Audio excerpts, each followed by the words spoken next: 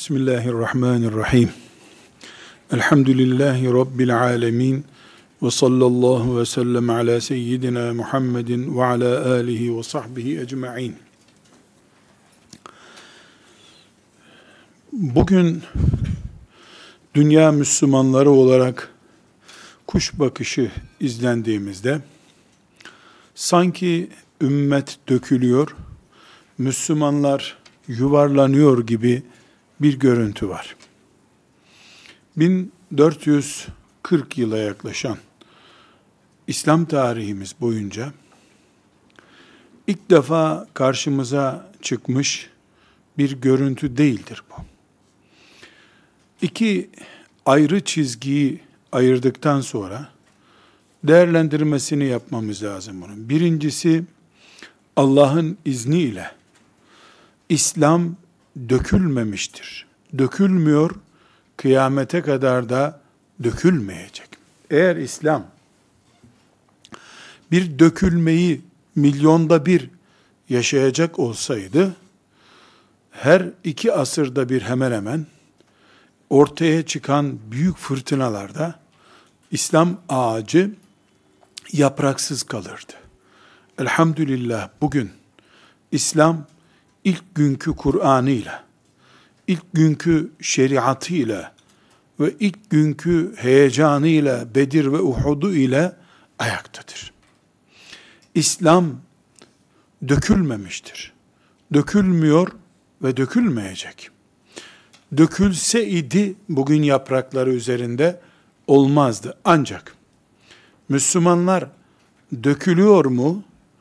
Ve Müslümanlarda dökülme var mı sorusunun cevabında evet Allahu Teala kaliteli ile kalitesizi bir darbede düşecek olanlarla bütün darbelere karşı sonuna kadar ayakta kalabilecek kullarını ayırmak, melekleri ve mümin kullarını buna şahit tutup kıyamet günü de yüreksizler, dökülenler diye bir grup ayırmak için Allah zaman zaman imtihan göndermektedir.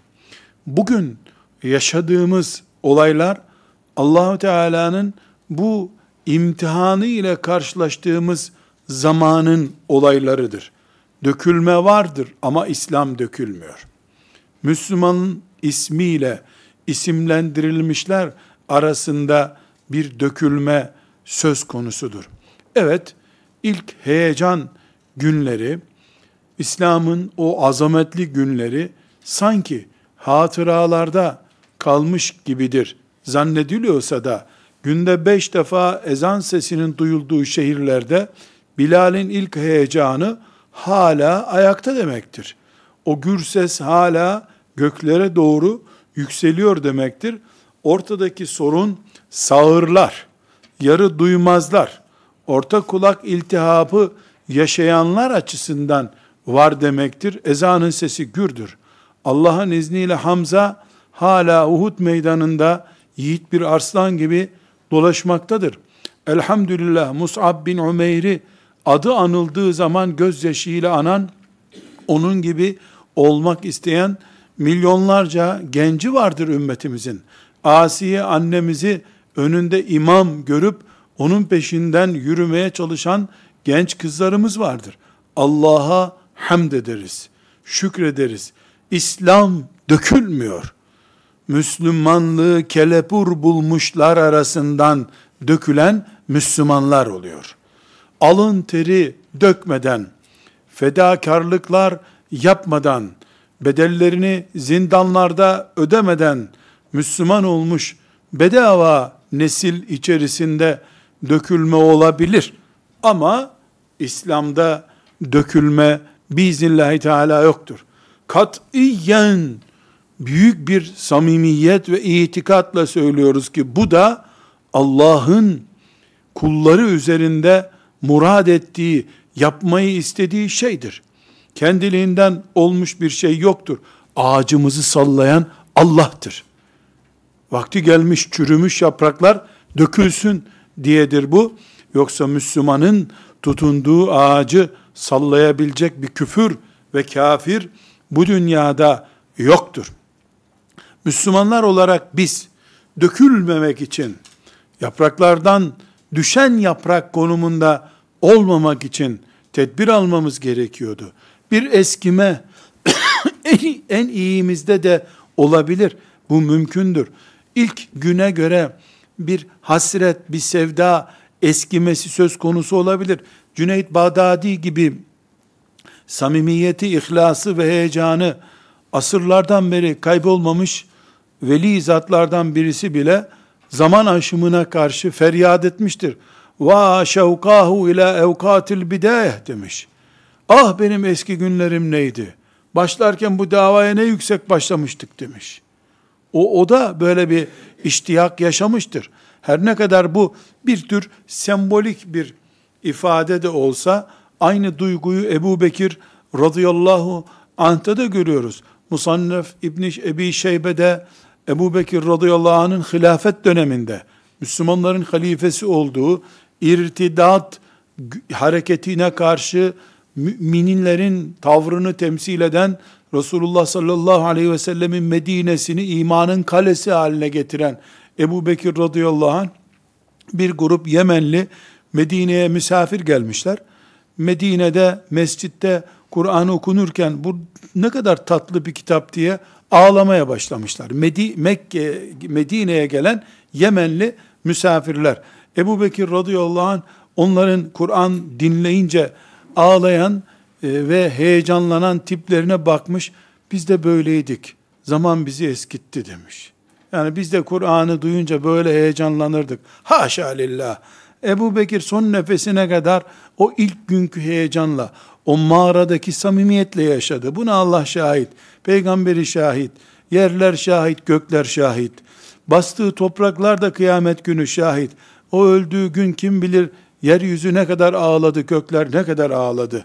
Ama buna rağmen eski heyecanda bir nebze eskime olduğuna dair bir bir nevi tevazu göstermek için böyle demiştir. Radıyallahu an. Ebu Bekir bile hakeza künne kütümme kasetil kulub demiş. Hakeza künne. Biz de böyle Kur'an dinlerken heyecanlanırdık ama sonra kalplerimiz katılaştı demiş. Ah o senin katı kalbin. Kas katı hali olsa da o senin dediğin mantıkla bizde olsa ya Ebu Bekir. Radıyallahu ank. Bu e, ümmeti Muhammed'in zaman zaman bir tür katılaşma, hantallaşma belirtisi gösterebileceğinin işaretidir. Ama asla ve kat'a İslam dökülmez. Tek bir kelimesi dökülmez İslam'ın. Çünkü İslam Allah demektir Celle Celaluhu. Allah'ın dinidir. Şeriat Allah'ındır. Ama bu ağaca tutunan yapraklardan biri olan bir Müslüman kapitalizme kapılmış olabilir, liberalizme kapılmış olabilir, güttüğü siyasete kurban gitmiş olabilir, ırkçılığı onu alıp sürükleyebilir. Müslümanın bireysel sorunudur bu. Her halükarda biz bireysel bir sorunu da olsa Müslümanın vuku bulmamasını isteriz. Niye dökülsün? Hiçbir Müslüman bu İslam ağacından dökülmesin. Dökülmemelidir de. Ama Allah'ın kaderi çare yok. Resulullah sallallahu aleyhi ve sellemi görüp de ona iman etmek şerefiyle şereflenmiş insanlardan bile daha sonra münafık olup çıkıp gidenler oldu. İmanlarıyla tutunamadılar. İslam ağacına tutunamadılar. Ebu Bekir radıyallahu anh halife olduğu dönem Efendimiz sallallahu aleyhi ve sellemin vefatı ile beraber sarsılmış İslam ağacı vardı. Efendimizin vefatı bir tür İslam ağacını salladı. Bir sürü münafık yürekli döküldü gittiler. İrtidad ettiler. Yani bu bireysel bir vakadır. Bundan dolayı biz umutsuzluğa kapılmıyoruz ama büyük bir tedbir alma ve ciddi bir heyecanla ayakta durmak için de gayret etmemiz gerekiyor. Netice olarak e, bu dökülme sıkıntısı veya dökülecekmiş gibi sallanıp durma, ilk rüzgarı bekleme, ilk ağaca çarpacak darbeyi bekleyen anlayış, zihnen çökmüş Müslüman, eylem olarak sıfırlanmış Müslüman veyahut da tavırlarında heyecan kalmamış pısırık Müslüman modeli görülebilir. Asla tedavisi mümkün olmayan bir hastalık değildir. İblisin iman etme ihtimali kalmamıştır hayatta olduğu halde. Onun dışında hayatı devam eden herkesin Allah'ın en iyi kulu olarak ölme imkanı vardır. Yeter ki tövbe edip Rabbine dönmeyi bilmiş olsun. Bireyler için de geçerlidir bu, toplumlar için de geçerlidir. Yani yüz Müslümanın arasından dört tanesi namazında, orucunda veya Kur'an okumasında, şeriatın istikbaline itimat etmesinde, İslam'ın siyasetinin er geç dünya hakimiyetine Müslümanları götüreceğine imanında, itimadında dökülmeler olabilir. Veya bir grup Müslüman yüz kişiden iki tanesi zamanı geçti İslam'ın diye ne'udhu billah bir safsataya takılmış olabilir. Başka iki Müslüman da Allah'ın dininde bazı hükümler çok ağır. Bu zamanda yapılmaz. Sünnetteki filan konular ağır. Ayetlerdeki filan konular anlaşılmıyor diye bir vesveseye kapılabilir. Bu bir dökülme veya dökülmeye hazır olma işaretidir. Bu Müslümanlıkta olmaz. İslam böyle bir hastalık geçirmez. Geçirmemiştir. Geçirmeyecektir. Ama bu Allah'ın izniyle Müslümanda da olsa yani birey olarak mümkün olan bir şey de olsa tedavisi ciddi bir şekilde mümkündür. Allah ona rahmet etsin. Rahmete vesile olsun diye Ebu'l Hasan Ennedvi'yi burada zikretmek istiyorum. 97 yılındaydı. Biz e, onu Hindistan'da ziyarete gittiğimizde Lekno şehrinde Emin Saraç hocamla beraber aynı günlerde Türkiye'de de Necmettin Erbakan rahmetullahi aleyh Allah ikisine de rahmetler yağdırsın. E, Türkiye'de Anayasa Mahkemesi'nde yargılanıyordu. Türkiye'yi şeriat devleti yapmaya çalışmak iddiası ile Allah onun muradına ermiş gibi sevaplarıyla taltif buyursun. Ee, Ebul Hasan el-Nedvi de çok üzülüyor. İki de bir soruyor işte bir haber var mı? Ee, mahkeme bitti mi? O da zannediyor ki böyle bir saatlik bir mahkeme günler sürüyor, aylar sürüyor. Bunu bilmiyor. Anlatamadık da derdimizi. Emin Saraç hocam ve benim diğer arkadaşlarımın e, bulunduğu bir ortamda bizi de mahzun gördü. Yani biz Türkiye'deki bu e, yargılama, Anayasa Mahkemesi'ndeki yargılama sürecinin e, aleyhimize sonuçlanacağına dair bir üzüntümüz olduğunu anladı. Bize bir yarım saatlik değerlendirme yapmıştı o zaman. Allah rahmet eylesin. O değerlendirmesinde özet olarak demişti ki, gençler sakın üzülmeyin. İslam'a kazılabilecek bir mezar yoktur. İslam ölmez. Zira İslam üç defa mezarı kazıldı da ona gömülmek istendi. Üçünde de Allah ona mezar kazanları o mezara gömdü. Dolayısıyla İslam için ölüm söz konusu değildir. Siz merak etmeyin, siz davanıza, hizmete devam edin demişti. Verdiği örnekler çok önemli. O örnekleri bugün bir kere daha bütün Suriye olayları, Irak olayları veya İslam'ın ezilmeye, imha edilmeye çalışıldığı yerlerdeki bütün olayların tefekkür edilmesinde faydası olur diye zikretmek istiyorum. Dedi ki, birincisi Resulullah sallallahu aleyhi ve sellem Efendimizin vefat ettiği zaman, irtidad edenlerle beraber İslam mezara gömülmek istendi. Yani şeytan Medine'de İslam'ı gömeceğini düşündü. Bir yığın kitle İslam'dan çıktılar. İslam yalnız tek kalacak düşünüldü. Allah Azze ve Celle Halid bin Velid'i gönderdi. Halid bin Velid iki yıl içerisinde İslam'ı mezara sokmak isteyenleri mezara soktu dedi. Bir kişinin küçük bir ordusu küfrün bu nefesinin kesilmesine yetti. Elhamdülillah. Birinci defa İslam mezara konacaktı. Allah izin vermedi dedi. İkincisi de Moğolların ve Haçlıların yaklaşık aynı dönemlerde İslam'ı Orta Doğu'ya gömüp bir daha başını kaldıramayacağı, nefes alamayacağı darbeyi vurmak istediler. Doğudan Moğollar, batıdan da Haçlılar. Orta Doğu'yu Şam, Suriye, Mısır, Filistin bu toprakları daha sonra Bağdat'ı yerle bir ettiler ve İslam'ın mezarı kazıldı. Artık İslam mezara girdi girecek zannedilirken hiç hesapta olmayan bir şey oldu. İslam'ı mezara gömmek için gelen Moğollar Müslüman oldular, geri geldiler, Hindistan kıtası Müslüman oldu dedi.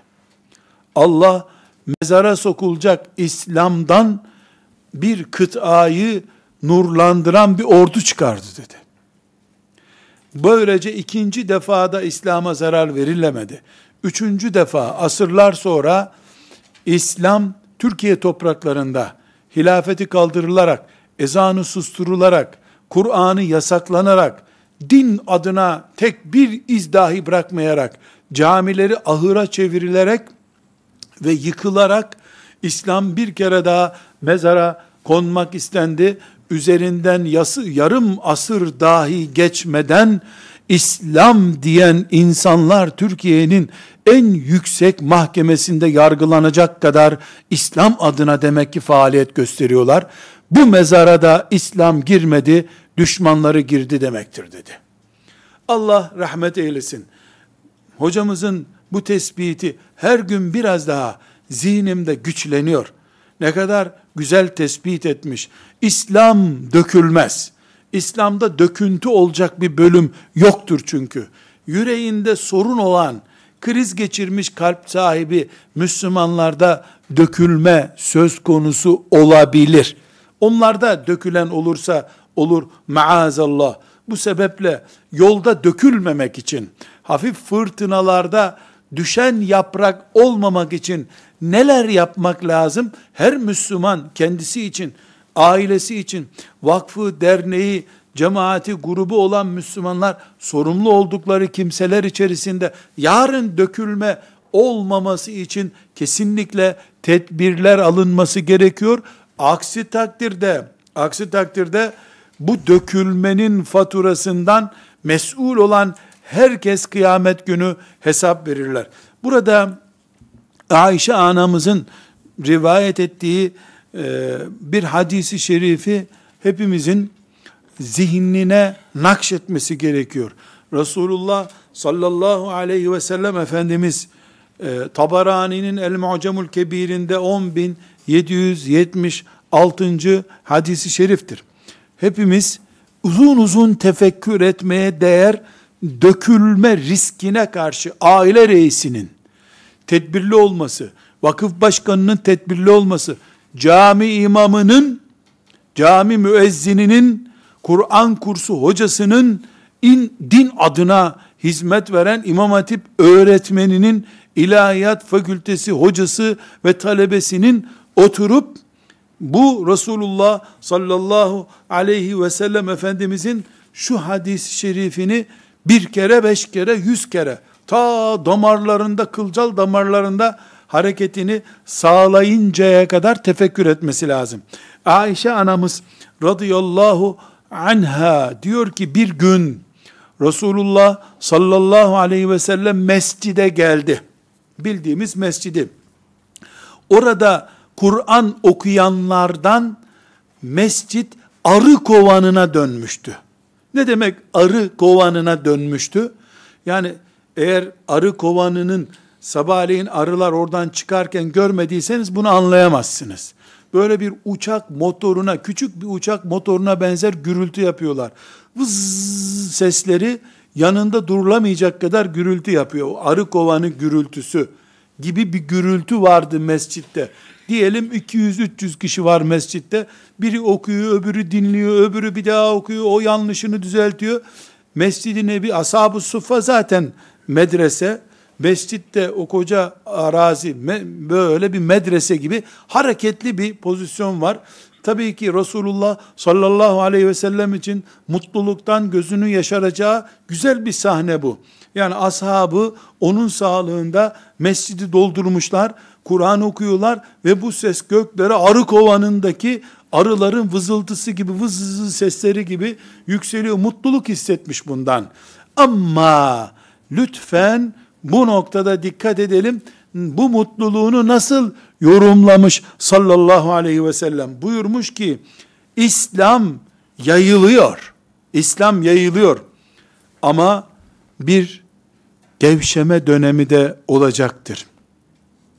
Kim bu gevşeme döneminde aşırılıklar yapar, bid'atlara yanaşırsa kendisini cehenneme hazırlar.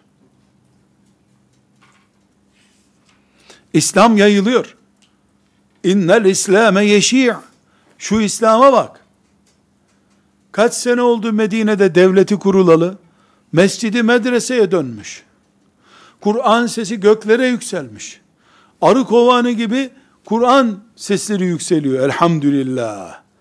Ama Resulullah sallallahu aleyhi ve sellemin düşünce dünyasında kıyamete kadar bütün Müslümanların öyle Kur'an okumayacağını, yer yer Moğol istilasının, Haçlı istilasının, o arı uğultusu gibi olan, arı vızıltısı gibi olan Kur'an sesini kısabileceğini, yer yer laiklik sendromunun Müslümanları Kur'an yerine felsefeye sevk edebileceğini, yer yer liberalizm hastalığı bir kanser olarak Müslümanlara bulaştığı zaman o hastalıktan dolayı Müslümanların Allah'ın şeriatından uzaklaşır gibi tavırların sahibi olabileceklerini bazen rüzgar esmiyor, nefes alamıyorsun, ter basmış gibi sahnelerin olabileceğini sallallahu aleyhi ve sellem haber veriyor. Ve o dönem aşırılığa kaçma, bid'atlerle din değiştirme dönemi değil, sebat etme dönemidir demek ki. Yılmadan, dökülmeden, hiçbir şey olmamış gibi devam etme dönemidir demek ki. Kadınların en feminist, en batıcı kadından daha batıcı ama tesettürlü oldukları bir zamanda en son yıkılmayacak kalesi olarak ümmetin son büyük asiye olarak kalmaya aday kadın olmak gerekiyor demek ki. Erkeklerin evirip çevirip faize helal kılıflar uydurduğu, faizin ismini değiştirip kendi kendine mubah hale getirdiği veyahut da zinaya kayacak nedenleri kendisine mubah gördüğü, şu veya bu Allah'ın yasaklarının gevşetildiği, ibadetlerinin ve emirlerinin bir tür olsa da olur olmasa da olura dönüştürüldüğü Müslümanca şeriat kafalı olmanın Müslümanlık iddiasında bulunanlar arasında bile aşırılık olarak görülebileceği zamanları sallallahu aleyhi ve sellem haber vermiştir. Biz bu fırtınaya habersiz yakalanmadık. Haberliyiz. Bu Kur'an vızıltısıyla mutlu bir şekilde Medine'de ne kadar güzel ya Rabbi, oh be diyeceği yerde bu yayılıyor ama daralma günleri olacak buyurmuştur. Elhamdülillah habersiz yakalanmadık.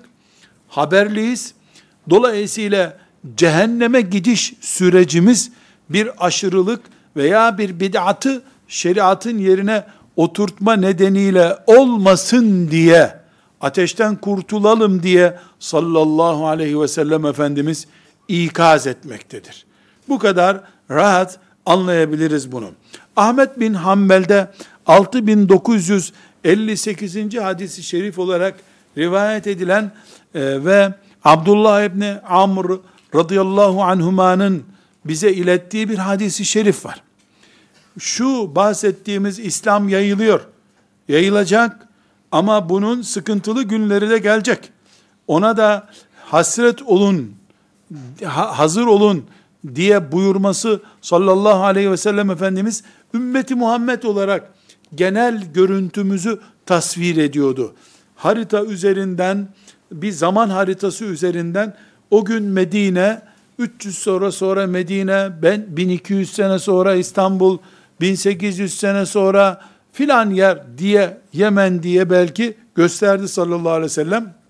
Birey olarak da dökülmeye karşı iblisin gafil yakalayıp el ense ederek yere atma ihtimaline karşı da Resulullah sallallahu aleyhi ve sellem ikazda bulunmuştur.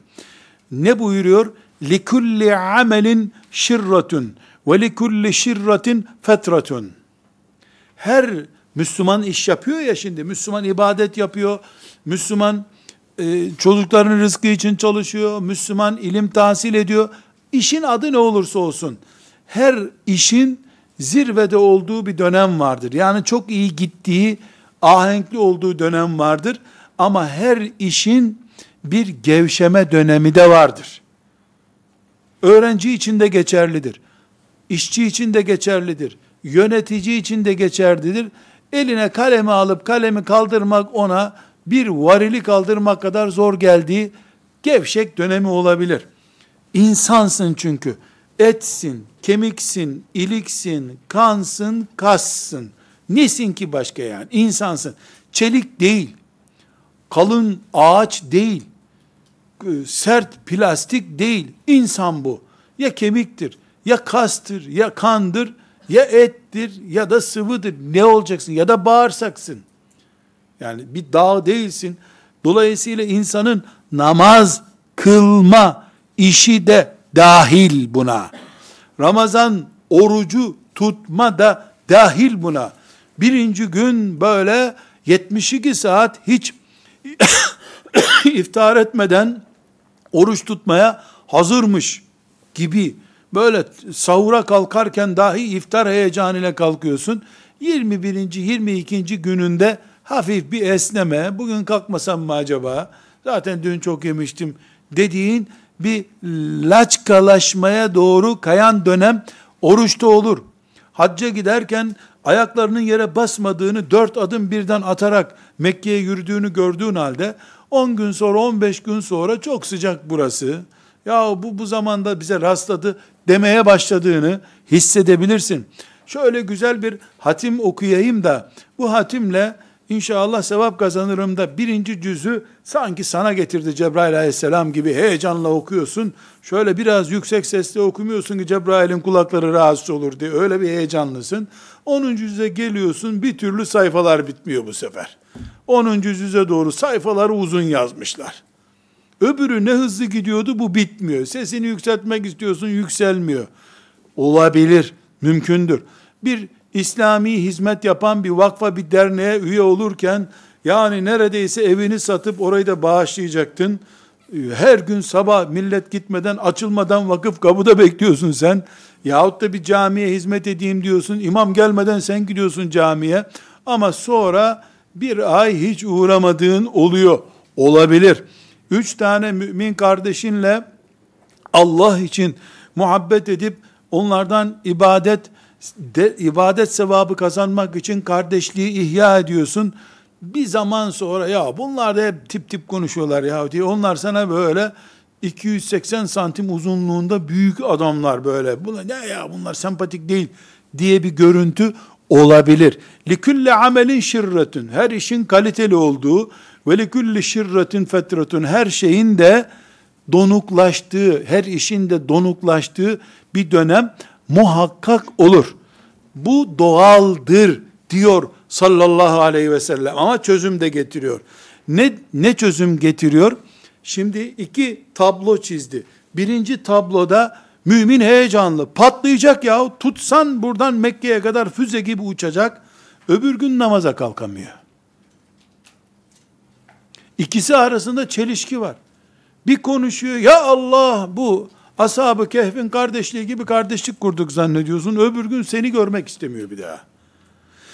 Aynı şey aile içerisinde, eşler arasında da olur. Biz Allah için evlendik. Evimizde İslam devleti kurduk. İnşallah nesillerimizden Allah'ın izniyle ümmeti Muhammed'in büyükleri gelecek. Bizim kızımız Asiye olacak. Oğlumuz Musab olacak. Edebiyatlar, şiirler, naatlar gidiyor. Allah uçuyor herkes. Bir ay sonra eve bile gitmiyor, caminin bir kenarında uyukluyor, eve geç gideyim, çocuklar yattıktan sonra gideyim diyor olabilir mi? Olabilir. İki zıt görüntü olabilir. Niye olabilir? İnsansın. Onun için olabilir. Bir, beyin taşıyorsun. Bu beyin dolduğu an olabiliyor. Kasların yorulduğu olabiliyor. Parmaklarının hareket edemeyecek kadar kendini bitkin hissettiği olabiliyor. A görüntüsü B görüntüsü. İşte zirveyi, kaliteyi yakalama görüntüsü. Tembellik açısından işin aşağı doğru çekildiği görüntü. Sallallahu aleyhi ve sellem Efendimiz ne diyor şimdi? Kim Allah için bir iş yaparken sünnetime uyduğu gibi bitkinlik dönemini de sünnetime uydurursa o kazanır. Benim sünnetime göre İslam işi yaparken namazından, orucundan, evliliğinden Müslüman olarak yaptığımız bütün işler benim sünnetime, şeriatıma uygun yaparken bitkinlik döneminde başka bir metoda uyan ise helak olur gider. Bu kadar basit. Bu neyi gösteriyor? Müslüman İslam heyecanı ile bir iş üretirken kendisi için, çocukları için, talebesi için, arkadaşları için, vakıf yönetimi için bir iş üretirken Müslüman, bu işe karşı moralsizlik günlerinin tedbirlerini ve projesini de hazırlamalıdır. B planı oluşturulmamış İslami bir hizmet aksak bir hizmettir. Çünkü sallallahu aleyhi ve sellemin talimatı çok açıktır. Yaptığınız sünnetime uygun yapmaya çalıştığınız işlerde B planınız hazır olsun. O B planını da sen hazırlayacaksın. Aksi takdirde şeytan o planı hazırlar. Sana da yutturur. Sorumluluğunu taşıdığına da yutturur ve sadece ağlamak düşer sana bu arada. B planı yapılmamış işler. Nedir B planı? Biz Allah yolunda cihat etmek istiyoruz. Çocuk eğitmek istiyoruz. Çocuğumuzu alim yapmak istiyoruz. Çocuğun çocukluk yapma ihtimallerine karşı planlarımız hazır olacak. Bu planlarımız elektrikli job planı değil herhalde.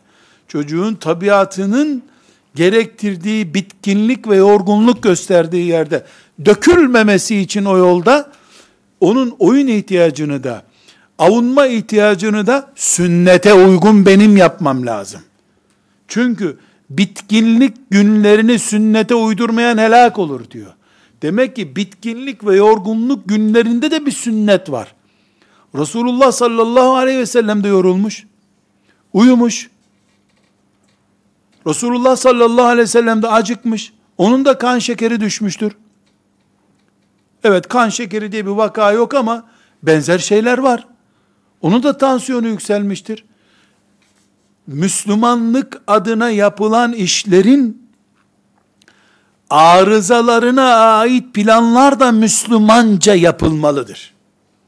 Bu aile düzeneğinde eşler arasındaki ilişkilerde de böyle. Düğün kadar düğün sonrasındaki arızalar da planlanmalıdır. Muhtemel arızalarda. Ya Allah deyip böyle orduya doğru giderken dümdüz vadilerde gideceğini hesap eden ilk tepeyi aşmadan mezarı boylar. İblis heyecanla yol alan Müslüman için o heyecandan ne zaman geri geleceği anı bekliyordur hep. Böylece iblisin tuzağına düşmemek için İslam adına yaptığımız çalışmaların B planlarının, arıza ihtimallerinin, yanılgı ihtimallerinin de hesabının yapılması gerekiyor. Ya da şöyle diyelim, hocalık, davet önderliği, teşkilat başkanlığı sadece neler yapılacağını planlama işi değildir.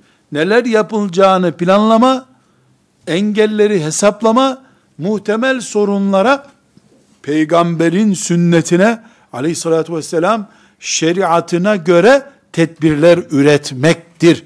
Annelik babalık da böyledir. Vakıf başkanlığı da böyledir. Hocalık da budur zaten. Buna davet eden, bunu belgeleyebilen hoca hocadır. Onun dışındaki hocalar işte her arızayı tenkit eder, yanlışları söyler. Ee, Allah mübarek etsin ne kadar güzel yanlış söylüyor bol bol olur o zaman. Nauzu billah. Şu hadisi şerif ne demişti?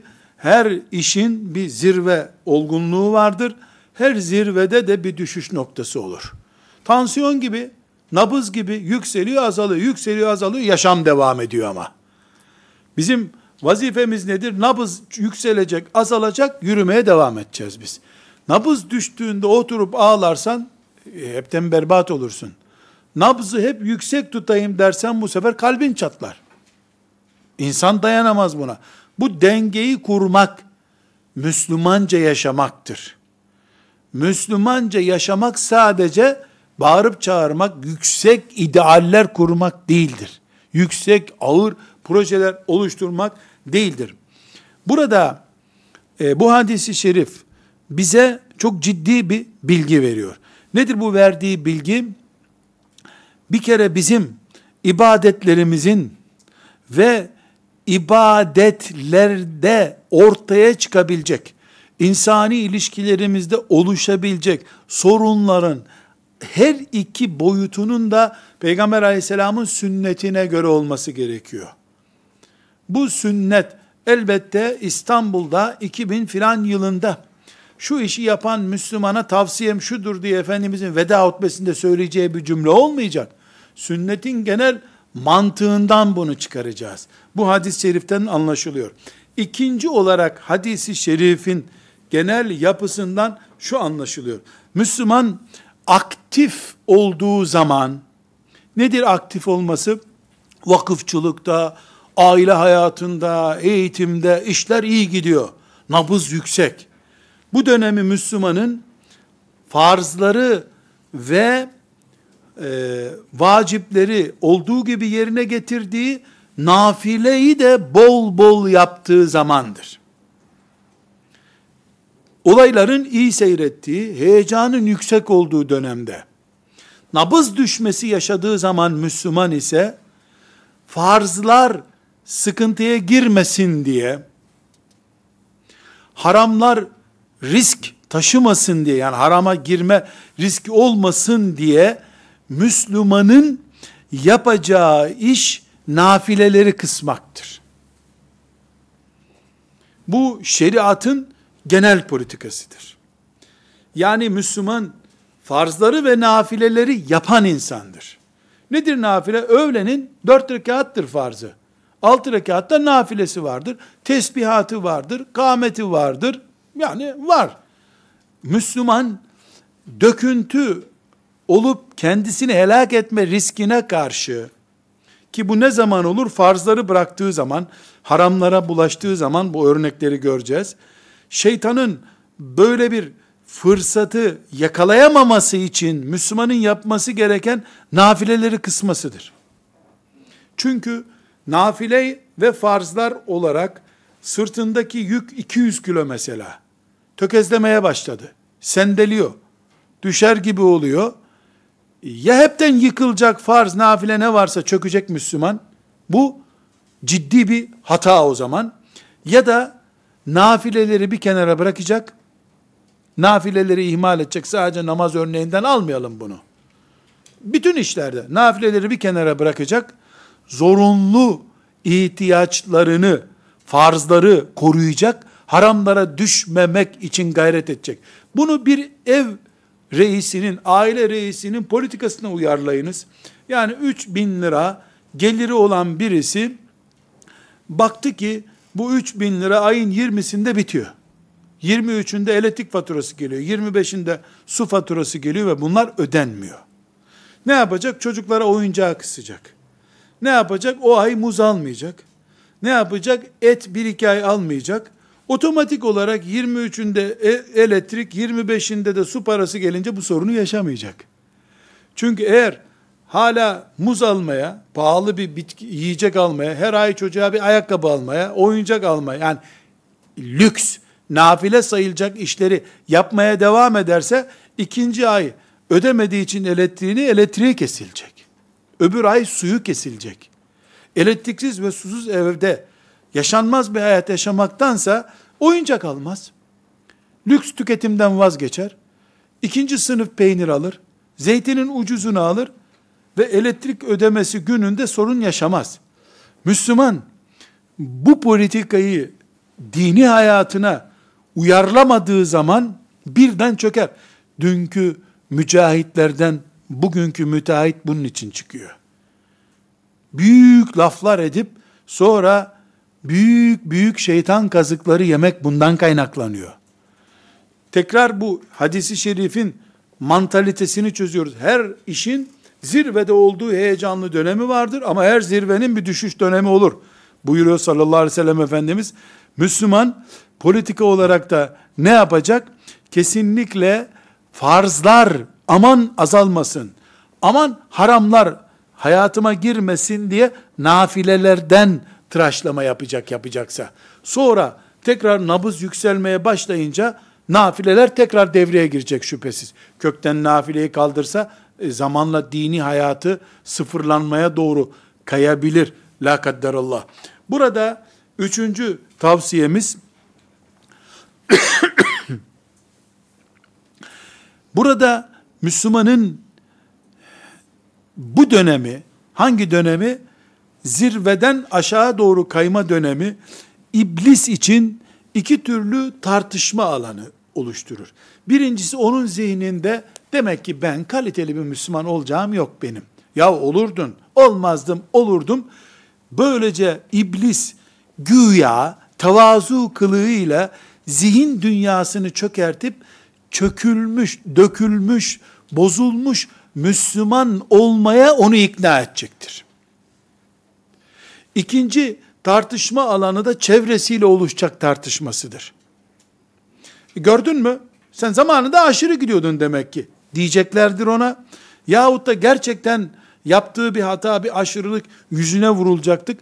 Gerek iç zihin tartışmaları ve gerekse dışarıdakilerle bu dönemini yani nabzının düştüğü dönemi tartışma alanının dışına çekmesi lazım Müslümanın. Belki bir ay bir inzivaya çekilebilir. Belki başka bir işe, bir alana kaydırılabilir ama tartıştıkça bulunduğu konumda yalama olacaktır. Badinaj yapacak ve boşa dönecektir tekeri. Şeytanın en önemli saldırı noktası onun zihin dünyasında ve çevresinde oluşacak belki de Allah'a imanla ilgili, belki de şeriatın varlığı ile ilgili ağır tartışma konularıdır. Nauzu billahi teala. Dördüncü olarak bu hadisi şerif de e, bir noktaya bizi çekiyor. Hangi hadis-i şerif?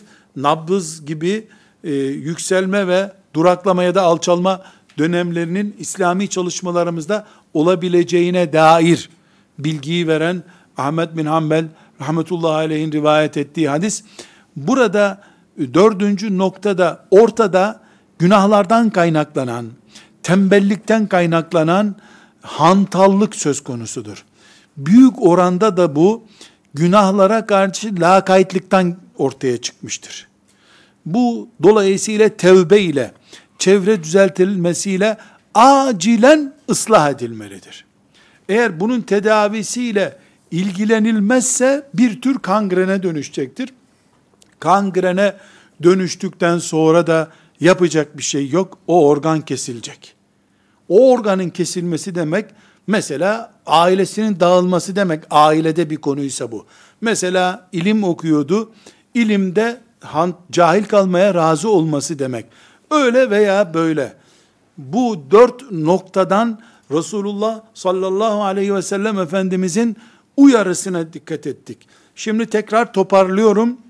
Ee, inşallah hepimizin salih amel sahibi olacağı, e, ciddi projeler peşinde olacağı ve yılmadan, dökülmeden ölünceye kadar, son nefese kadar biiznillahü teala ayakta kalacağı bir nasihat olacak. Resulullah sallallahu aleyhi ve sellem Ayşe anamızın tarif ettiği şekilde mescitte Kur'an heyecanıyla arı uğultusu gibi ses çıkaran ashabını görünce mutlu olmuş. Ama bir gerçeği de ikaz etmiştir. Nedir o gerçek? Bazı nabız düşüklükleri tarih boyunca toplumda olacak demiştir. Defalarca bunun örneği görüldü. Allah'ın izniyle şimdi o nabız düşüklüğü dönemini yaşıyorsak bu ne demektir? Yeniden yeryüzünü ümmeti Muhammed'in delikanlılarının, kızlarının arı kovanı gibi Kur'an sesiyle canlandıracakları döneme Allah'ın izniyle yaklaşılmıştır. Bu derin karanlık bunu gösteriyor. İkinci öğrendiğimiz hadis-i şerifte de bireysel olarak Resulullah sallallahu aleyhi ve sellem bu tür düşüşleri yaşama ihtimalimize karşı bizi ikaz etmiştir. Bu bir realitedir. Oturup bunun için ağlamaya, matem tutmaya gerek yoktur. Yani olabilir şeydir bu. İnsan akşama kadar pehlivanlık yapar, önüne geleni yere yatırır, 100 kilo kaldırır, 40 kilo kaldırır ama akşam yatmak zorundasın. İnsansın çünkü. Beyin de bazen yorgulan, yorgun olabilir. Her sabah kalktığında iki cüz Kur'an okumadan işine gitmez bir Müslümandın sen. Bir sabah kalktığında Musaf'ı nereye koymuştun? Yarım saatte onu arayıp bulamıyor bile olabilirsin. Ya sonra okurum mu ders. Bu olabilir. Bundan dolayı eyvah din gitti elden. Bir daha benden adam olmaz türünden bir vesveseye asla kapılmamıza gerek yoktur. Neden? Resulullah sallallahu aleyhi ve sellem bu tip düşük pozisyonlara, bu tip nabız düşmelerine karşı bizi uyarmıştı zaten. Bu da bir hamleyi gerektiriyor. Bir vites değişikliği gerekiyor burada. Hafif bir vites değişikliğiyle biiznillahü teala bu hallolabilir. İleride bunu konuşacağız inşallah ikinci dersimizde. Senin bedensel yapını tahrip ettiğinden kaynaklanabilir bu. Kan e, şekerin düşüktür. Hala sen sağlığınla ilgilenmiyorsundur. Hata sendedir. Çevren seni ifsad ediyordur. Bunu anlamıyorsundur. Günde sen bir cüzden fazla okumaman lazım. Sen 400 okuyorsun. Hızlı girdiğin için hızlı çökmüşündür. Her türlü bir dengesizlik, bir aşırılık vardır. Bu aşırılığa karşı biiznillahü teala çare de var. Allahu Teala e, çaresini yaratmadığı bir hastalık indirmemiştir yeryüzüne. Yeryüzünde hangi derdi varsa Müslümanın, hangi sıkıntısı varsa Allah'ın izniyle onun bin çaresi vardır. Arıyorsun, keşfediyorsun şüphesiz. E, binaenaleyh Müslümanın hemen matem tutmasına gerek yok. Yani eyvah ben bundan sonra bir daha Kur'an okuyamayacağım demeye gerek. Ben her gün gider camiyi süpürürdüm. İki haftadır sabah namazına bile gitmedim. Elveda cami bir daha cenazem gelsin sana demeye halin yok. İntikam için bir uzak camiye üç gün gidersin. Ondan oradaki heyecanla yeni bir vites değişikliği kendi camine dönmeye başlarsın.